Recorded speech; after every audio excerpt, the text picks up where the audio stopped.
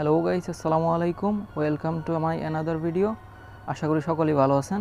তো স্ক্রিনে যে ভিডিওটা দেখতে পারতেছেন, এই ধরনের ভিডিও বানাইতে চাইলে খুব সহজে বানাইতে পারবেন অ্যালাইট মোশন অ্যাপ্লিকেশন দিয়ে। তো যদি বানাইতে চান, তাহলে দেখে নেন। তো চলেন অ্যালাইট মোশন অ্যাপ্লিকেশন ওপেন করা যাক। তো অ্যালাইট মোশন অ্যাপ্লিকেশন ওপেন হওয়ার পরে এখান থেকে মাঝখানের প্লাস আইকনে ক্লিক করবেন। তো ক্লিক করার পর এখান থেকে নাইন পয়েন্ট ওয়ান সিক্স এইটা সিলেক্ট করে নেবেন। তারপরে এখানে ক্রিয়েট প্রজেক্টে ক্লিক করবেন। তো ক্রিয়েট প্রজেক্টে ক্লিক করার পর এখান থেকে প্লাস আইকনে ক্লিক করবেন। প্লাস আইকনে ক্লিক করার পর আপনার এখান থেকে দেখতে পারতেছেন ইমেজ অ্যান্ড ভিডিও তো ইমেজ অ্যান্ড ভিডিওতে ক্লিক করবেন। তো আপনার গ্যালারি এখানে শো করবে, তো এখান থেকে আপনি আপনার ভিডিওটা সিলেক্ট করে নেবেন।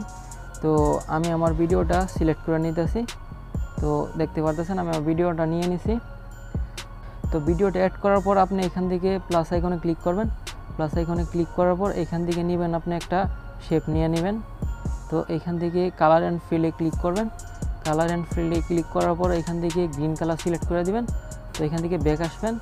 ব্যাক আসার পরে এটাকে পুরো ভিডিওতে দিয়ে দিবেন আর কি। পুরো ভিডিওতে দিয়ে দেওয়ার পর এখানে দেখতে পারতেছেন ব্ল্যান্ডিং অ্যান্ড অপরচুনিটি তো এটাতে ক্লিক করার পরে একটু নিচে আসবেন, আসার পরে দেখতে পারবেন এখানে ডিফারেন্ট তো ডিফারেন্টে ক্লিক করার পর এখানে দেখতে পারতেছেন নাম্বার তিন নাম্বারে সাবট্রাক্ট সাবট্রাক্টে ক্লিক করবেন, এখান থেকে ব্যাগ আসবেন। তো ব্যাগ আসার পরে এখানে নিচে দেখতে পারতেছেন এফেক্ট এফেক্টে ক্লিক করবেন এফেক্টে ক্লিক করার পর এখানে অ্যাড এফেক্টে ক্লিক করবেন। তো এখানে সার্চ বার আছে উপরে। তো এখানে সার্চ বারে লিখবেন কফি ব্যাকগ্রাউন্ড সিও তো কফি ব্যাকগ্রাউন্ড আপনার সামনে ওপেন হয়ে গেছে। এইখান থেকে কপি ব্যাকগ্রাউন্ডে ক্লিক করার পর নিচে দেখতে পারতেছেন স্ট্যান্ডার্ড সেটিং স্ট্যান্ডার্ড সেটিংয়ে ক্লিক করবেন। তো ক্লিক করার পর এইখানে এইখানে প্রেস করে দিবেন। বাস, তারপরে নিচে অ্যাড এফেক্ট অ্যাড এফেক্টে ক্লিক করবেন। সার্চ বারে লিখবেন জি এ গাশিয়ান বোলার।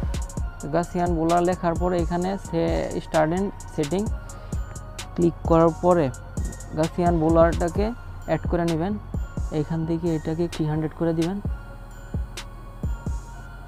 থ্রি হান্ড্রেড করার পর ব্যাক যাবেন। ব্যাক যাওয়ার পরে নিচে অ্যাড ইফেক্টে ক্লিক করবেন। অ্যাড ইফেক্টে ক্লিক করার পর আবার এখানে অ্যাড ইফেক্টে ক্লিক করবেন।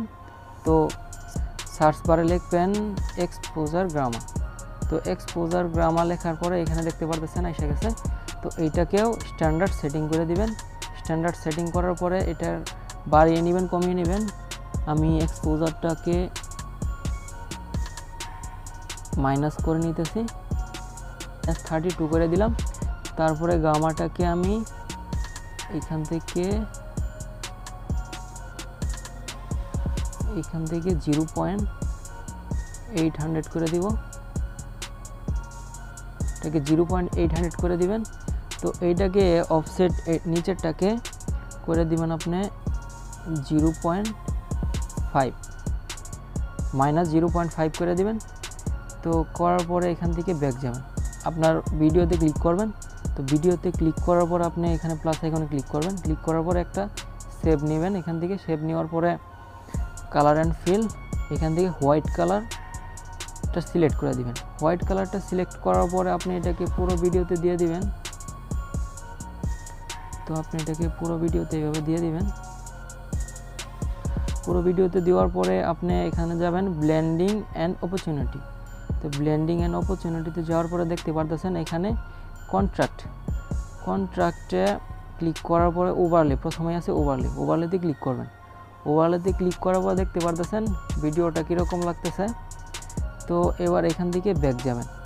ব্যাক যাওয়ার পর নিচে দেখতে পারতেছেন অ্যাড এফেক্ট এফেক্টে ক্লিক করবেন। এফেক্টে ক্লিক করার পরে অ্যাড এফেক্টে ক্লিক করবেন। তো সার্চ বারে যাবেন।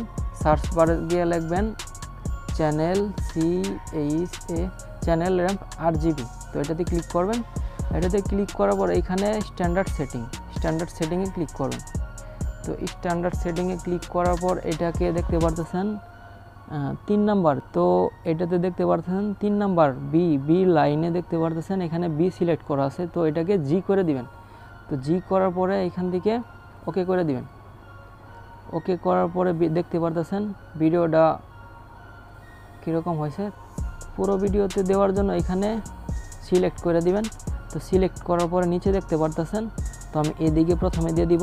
তো এদিকে দেওয়া হওয়ার পরে ভিডিওটা এদিকে স্ক্রল করে ওইদিকে নেবেন। তারপরে এখানে দিয়ে দিবেন। তো এবার পুরো ভিডিওতে হয়ে গেছে। এবার ভিডিওটা প্লে করি।